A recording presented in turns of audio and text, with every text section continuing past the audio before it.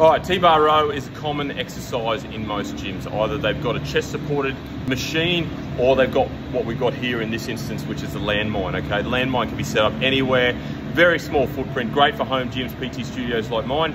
But what I want to demonstrate in this example is the one arm T-bar row or the one arm landmine row. So we're just going to use the bar and I'll set it up and we do alternating sides. Or sorry, not alternating sides, but we do one side, complete the set, then we go to the other side. So let's have a look.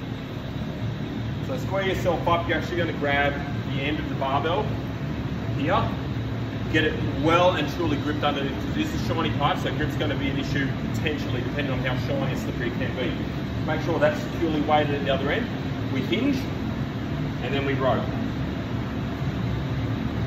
Right down, drop the shoulder back in, drop the shoulder back in, get that range, okay? Now when I'm done, obviously I put it down, I turn around and then do the other side set, and row. Right down, drop the shoulder, right down, drop the shoulder. When you're doing this one and you're hinging down, you can use your outside arm as support on your knee and you just to stop yourself from swinging too much. But that's essentially the one arm landmine row or one arm T-bar row.